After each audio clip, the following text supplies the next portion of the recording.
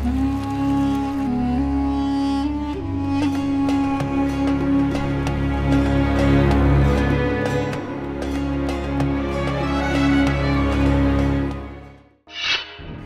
में कब आएगा भैया जी का एक छत्र राज?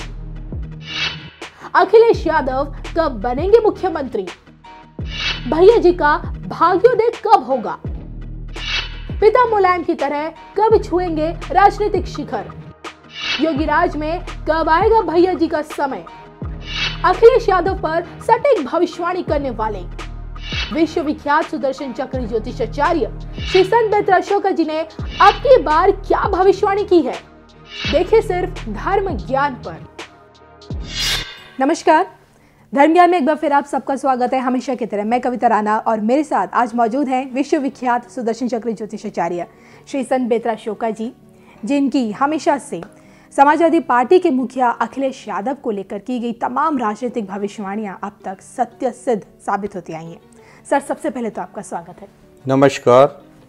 मैं अपने दर्शकों को बता दूँ साल 2017 के यूपी चुनाव में श्री संबित अशोका जी ने यह भविष्यवाणी कर दी थी कि अगर अखिलेश यादव अपने अपने पिता तुल्य यानी कि अपने चाचा शिवपाल यादव के खिलाफ जाएँगे तो उनका ना सिर्फ़ राजनीतिक करियर अंधकार में चला जाएगा, बल्कि उन्हें कई चुनौतियों का सामना भी करना पड़ेगा। नतीजन हुआ भी शिवपाल यादव की बगावत के चलते 2000 ना सिर्फ़ उन्हें 2017 का चुनाव हारना पड़ा, इसके साथ ही साथ 2019 में बहुजन समाज पार्टी का साथ भी यूपी की जनता ने नकार दिया। अब 2022 का चुनाव है, लेकिन इस बार, दिलचस्प बात यह है कि पिता तुल्य चाचा, यानी कि शिवपाल यादव, इस बार अखिलेश यादव के साथ हैं, लेकिन उनकी छोटी बहू अपर्णा यादव समाजवादी पार्टी से निकलकर अब बीजेपी में जा चुकी है। ऐसे में पहली बार अखिलेश यादव विधायकी का चुनाव लड़ रहे हैं, मैनपुरी की करहल सीट से, लेकिन क्या ये चुनाव जीत पाएँगे और क्या इस सीट से यूपी के मुख्यमंत्री बन पाते हैं या नहीं? आखिरकार अब 2022 से अखिलेश यादव का राजनीतिक करियर क्या कहता है? यूपी के भैया जी का राजनीतिक करियर कैसा रहेगा? अब आगे यही आज हम जानेंगे। श्री संबिता अशोका जी से। तो सर सबसे पहले तो यूपी के भैया जी के राजनीतिक सितारे आपको इस वक्त कैसे दिख रहे हैं? देखिए अखिलेश यादव जी का जो समय इस टाइम चल रहा है जी। बहुत ही उत्तम चल रहा है। वो जहाँ से भी लड़ेंगे जीतेंगे। लेकिन वो जो है बड़ी सेफ़ सीट से लड़ रहे हैं जहाँ से उनको भारी बहुमत से विजय प्राप्त होगी। बिल्कुल। इसमें तो कोई संशय नहीं है कि उनकी जीत में कोई भी किसी तरीके का कोई रोड़ा नज़र आ रहा है क्योंकि इस समय जो है उनका समय जो है जैसे मैंने आपका बताया योगी आदित्यनाथ जी का समय चल रहा है उनके सितारे जो बुलंदी पे हैं फ़िलहाल आपके अखिलेश यादव जी के भी जो सितारे इस टाइम बुलंदी पर हैं वो चुनाव कहीं पर नहीं हारेंगे।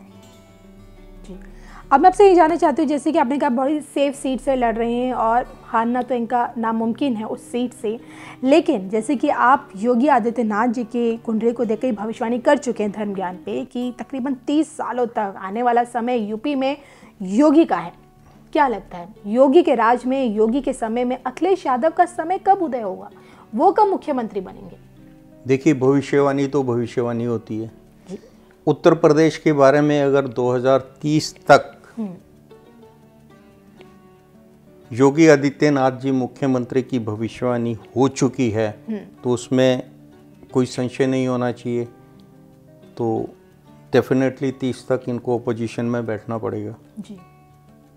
सर आपने कहा था कि पिता तुल्य चाचा का अपमान उन्हें भारी पड़ेगा और 2017 में दिखा भी आपकी भविष्यवाणी सत्य साबित हुई। लेकिन अब चाचा साथ हैं लेकिन बहू रानी नहीं है। मतलब परिवार की अनबन हमेशा अखिलेश यादव जी के साथ क्यों रहती है? मैं इसके पीछे की ज्योतिष कारण जानना चाहती हूँ कि बाहर से तो चलिए बाद में लड़ेंगे पहले तो घर के अंदर ही उनकी लड़ाई इतनी है। देखिए योगी आपका अखिलेश यादव जी का जो जन्म है वो व्यतिपात योग में हुआ। जी। व्यतिपात योग में जिसका जन्म होता है वो उसका जो मानसिकता होती है वो कन्फर्टेशन की होती है। अहम बहुत होता है। जी। मेरे को मानिए जो मैं कह रहा हूँ वही ठीक है आप गलत हैं। ऐसा होता है। और दूसरा जो है इनकी इस टाइम जो है केतु की महादशा चल रही है। केतु इनके द्वादश भाव में और नीच का जी। उसमें इनका मंगल का अंतर चल रहा है। और वर्ष फल में इनका दशम भाव में मंगल नीच राशि में होने के कारण। इनके लिए एक बहुत बड़ा सुझाव है। ये जब भी मंच पे पहुँचते हैं एल्डरली जितने भी इनके जो हैं नेता हैं पिता और पिता तुल्य जी। उनके इनको उनका इनको आशीर्वाद लेना बहुत ज़रूरी है। ना कि बुज़ुर्ग इनके पैरों में पड़े और ये प्रफुल्लित हों। इस चीज़ का ये ख्याल रखें। दूसरा एल्डरली रिलेशंस को सम्मान चाहिए होता है। और व्यतिपात योग में जो व्यक्ति पैदा होता है या जो व्यक्ति वरियन योग में पैदा होता है उसका ईगो बहुत बड़ा होता है। और उसके ईगो के अगेंस्ट कोई अगर कुछ बोल देता तो वो उसको पसंद नहीं करता। जी। वो आपके पिता हों या पिता तुल्य हों या आपके सीनियर्स हों। तो ये इनकी कुंडली में एक छोटा सा दोष है। और अभी इस इलेक्शन में इनको वाणी का नियंत्रण बहुत रखना है। जी। कहीं पर भी ये व्यतिपात लड़ाई झगड़े वाली या कन्फर्टेशन वाली या किसी तरीके से वाद विवाद बढ़े। समाज में किसी तरीके से जो है डिवाइड किया जाए ऐसा कोई भी वक्तव्य ना दें। उससे इनको बहुत बड़ा नुकसान होगा। देखिए ये मैंने उस समय भी 2017 में भी पहले प्री वार्न कर दिया था पिता और पिता तुल्य जो भी इनके सीनियर्स हैं उनके सम्मान में कहीं पे भी किसी तरीके की कमी ना आए। और 2017 में इनके पिता एवं चाचा से मतभेद के कारण सप्पा में डिवीज़न हुआ। जी। और आदरणीय शिवपाल यादव जी ने अपनी अलग पार्टी बना ली जिसके जिसका खामियाजा सपा को भुगतना पड़ा। अब जो है फिर वही एहतियात इनको बरतनी है। अगर पिता और पिता तुल्य जो इनके एल्डर जो हैं राजनीतिक नेता हैं राजनीति में इनके पार्टी के जो नेता हैं उनके सम्मान में इवन अपोजिशन में भी इनसे जो एल्डर हैं उम्र में एक्सपीरियंस में उनके अगेंस्ट गलत वक्तव्य या झूठ ना बोलें तो उसका बहुत बड़ा नुकसान होगा। अपर्णा यादव के बारे में क्या कहेंगे? देखिए अपर्णा यादव जी का सप्पा से जाना अखिलेश यादव के लिए और पार्टी के लिए बहुत बड़ा नुकसान बहुत बड़ा क्षतिकारक है। क्योंकि इनकी कुंडली में दशमेश जो है मंगल भाग्य भाव में बैठा हुआ है। और अपर्णा यादव जी की राशि भी मेष है। और मेष राशि का स्वामी जो है मंगल है। अगर अपर्णा यादव छोड़ के चली गई हैं सपा को तो उससे इनके भाग्य में कमी आएगी। अगर उनको किसी तरीके से मना लिया जाता ना जाने दिया जाता तो ज़्यादा अच्छा था इनके हालाँकि अभी अपर्णा यादव का कहना है कि उन्हें टिकट की चाह नहीं है लेकिन लोगों का कहना है कि टिकट के वजह से ही समाजवादी पार्टी से बाहर निकली हैं। पिछली बार वो लखनऊ कैंट सीट से हार गई थी रीता बहुगुणा जी से बीजेपी की रीता बहुगुणा जी से। लेकिन मैं- आपने कहा कि किसी तरह मना लिया जाना चाहिए था लेकिन क्या लगता है भविष्य में अपर्णा यादव की घर वापसी दिखती है आपको समाजवादियों में? देखिए राजनीति को आप इस तरीके से समझिएगा। हम्म। राजनीति एक व्यापार है। जी। व्यापार के लिए ऑफ़िस का होना हम्म। या फिर दुकान का होना बहुत ज़रूरी है। जी। अगर आपके पास दुकान नहीं है और आपके पास ऑफ़िस नहीं है तो आप राजनीति में अगर सड़क पे कुछ बेच रहे हैं तो आपका कोई सम्मान नहीं है। तो जो भी नेता किसी भी दल को छोड़ता है तो उसको सिर्फ़ ये नज़र आता है कि अब यहाँ हमारी दुकान नहीं लग सकती। हमें जो है सीट नहीं मिलेगी। सीट अगर बाई दे मिल भी गए तो वो लोकेशन नहीं मिलेगी वो मंत्री पद नहीं मिलेगा। तो व्यापार में क्या होता है? आपको जहाँ आप व्यापार कर रहे हैं लोकेशन होना चाहिए वहाँ आपको फ़ायदा होना चाहिए। हम्म। चलिए सर, इशारों इशारों में मैं तो आप बात समझ गई हूँ। उम्मीद करती हूँ कि मेरे दर्शक भी समझ चुके होंगे। अब आपसे बस जाते जाते ये भी जानना है मुझे आपसे, समाजवादी पार्टी के संस्थापक मुलायम सिंह यादव जी, जिनकी खास तौर पे यूपी की राजनीति में एक बड़ा योगदान रहा है, बहुत ही माहिर खिलाड़ी माने जाते हैं।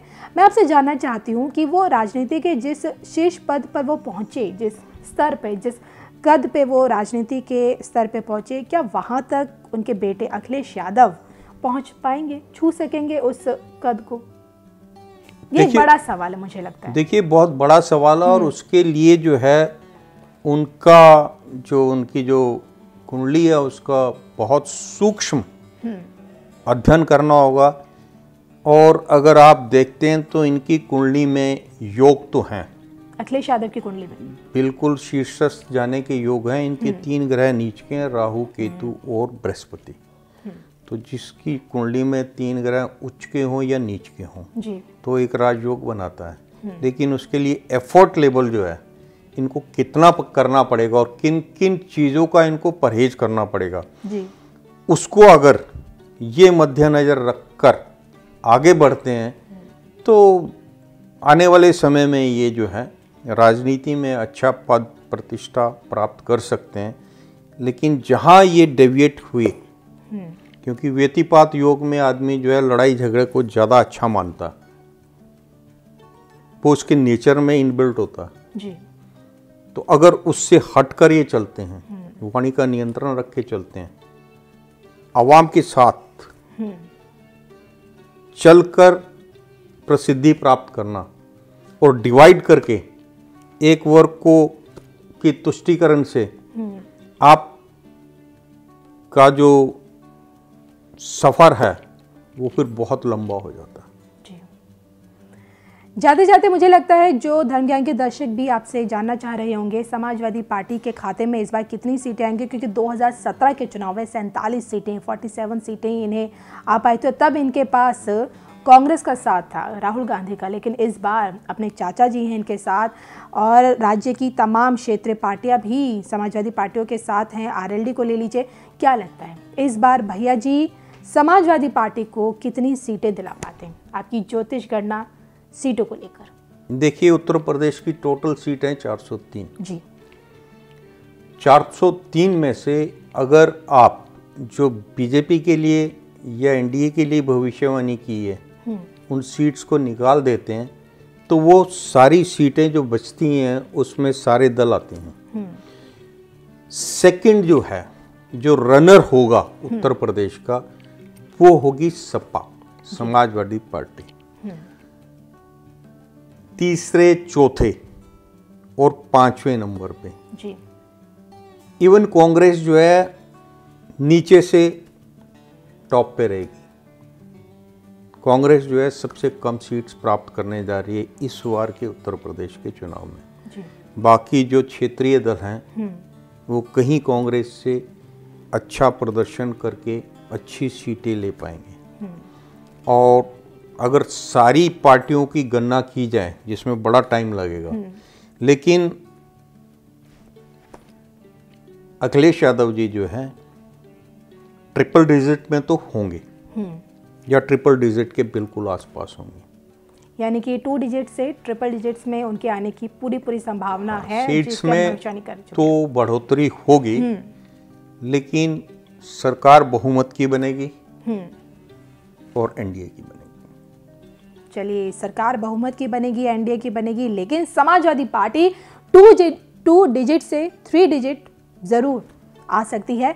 और इस बार श्री संबेत्र अशोका जी की ये भविष्यवाणी हमेशा से अखिलेश यादव को लेकर तो सत्य सिद्ध साबित हुई है लेकिन क्या इस बार भी 2022 में ये सत्य साबित हो पाती या नहीं 10 मार्च की तस्वीर। ये तय करेगी। इसी के साथ मुझे और श्री सन बेतरा शोका जी को दीजिए इजाज़त। नमस्कार।